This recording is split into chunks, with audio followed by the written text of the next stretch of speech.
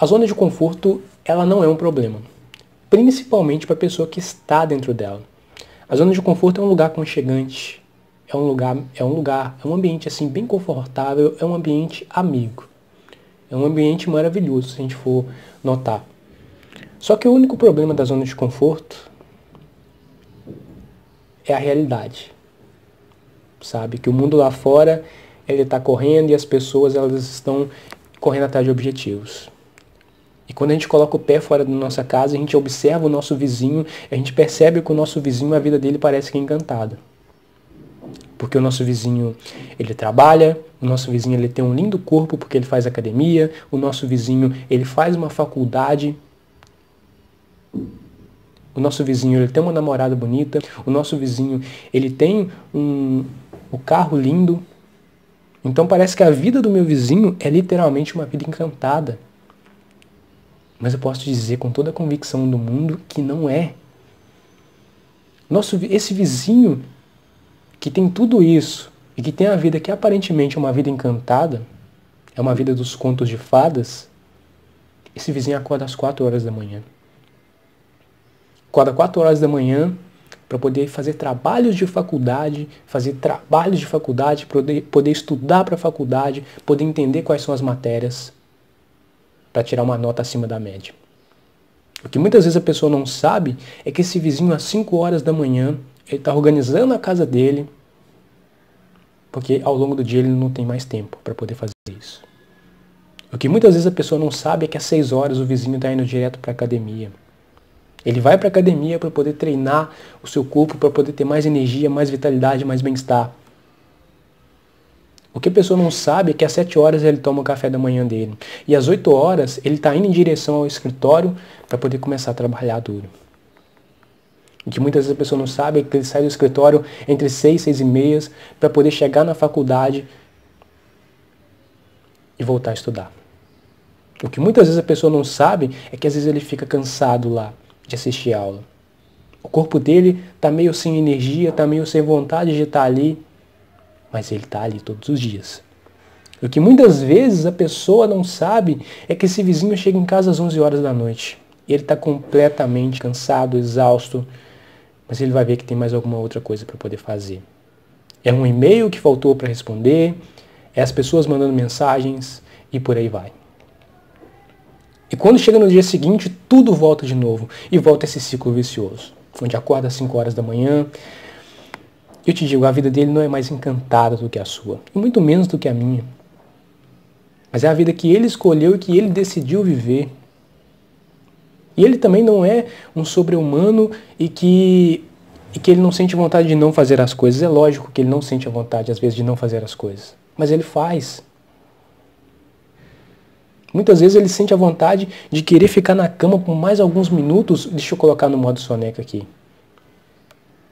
Muitas vezes está um friozinho e ele quer ficar no quentinho ali do cobertor, mas ele levanta da cama. Ele sai da zona de conforto dele para poder entrar na action e fazer acontecer. Por muitas vezes ele não quer ir para academia, o corpo dele está literalmente cansado, mas ele vai. Por muitas vezes ele não quer ir para a faculdade, mas ele vai, mesmo cansado depois de um dia de trabalho. Por muitas vezes ele literalmente não quer fazer os trabalhos de faculdade, mas ele faz. Ele não quer entregar um trabalho medíocre, mas ele faz o trabalho. Porque se ele entregar um trabalho medíocre, a nota dele vai tender a ser medíocre. E o que, que ele aprendeu? Nada. Então ele vai entregar um trabalho com excelência. A palavra que define esse vizinho é sair da zona de conforto, mas não só essa. É disciplina. Disciplina e constância. É consistência. É todos os dias ele fazer o que é importante para ele, para ele poder chegar lá e alcançar os seus objetivos. É fácil a vida do vizinho? Não é. É encantada a, vizinha, a vida do vizinho? Muito menos mas é a vida que ele escolheu. E você pode escolher viver uma vida assim também. Então, é esse vizinho, ele corre atrás. Ele faz acontecer. É entender que, que, que a única pessoa que consegue aquilo que quer é uma pessoa que não desiste. É uma pessoa que está ali todos os dias e está perseverante naquela jornada e a parada vai acontecer porque vai acontecer, porque eu estou fazendo acontecer. Então esse vizinho pode ser que ele seja fonte de inspiração para você.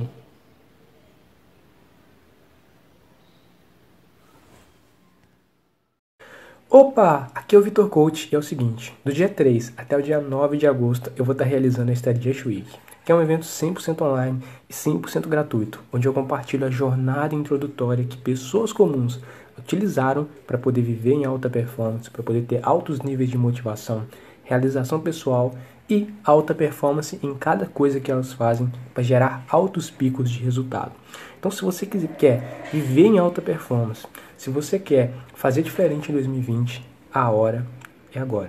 Através da Strategy Week, eu vou compartilhar com você, através de três aulas, onde uma aula complementa a outra, conteúdos complementares a essas aulas, comunidade nos comentários, comunidade exclusiva no Facebook, é, um grupo exclusivo no Telegram. Então, se você quiser ter acesso a tudo isso, e essa semana Strategy, da semana da alta performance, é o seguinte: aqui em cima ou aqui embaixo desse vídeo tem um link. Clica nesse link e você vai ser redirecionado para uma página.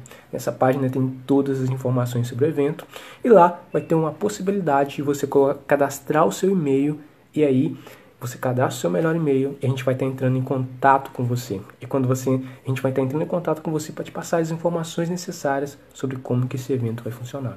Então, se você quiser participar da Strategy Week, a hora é agora. E lembre-se, se você quiser é, aumentar o seu comprometimento, convida alguém para poder estar nesse projeto junto com você. Por quê? Porque se você quiser ir rápido, vá sozinho, mas se você quiser ir longe, vá acompanhado. Provavelmente você vai preferir ir, ir acompanhado. Então, te vejo no próximo. Por aí é hora da action.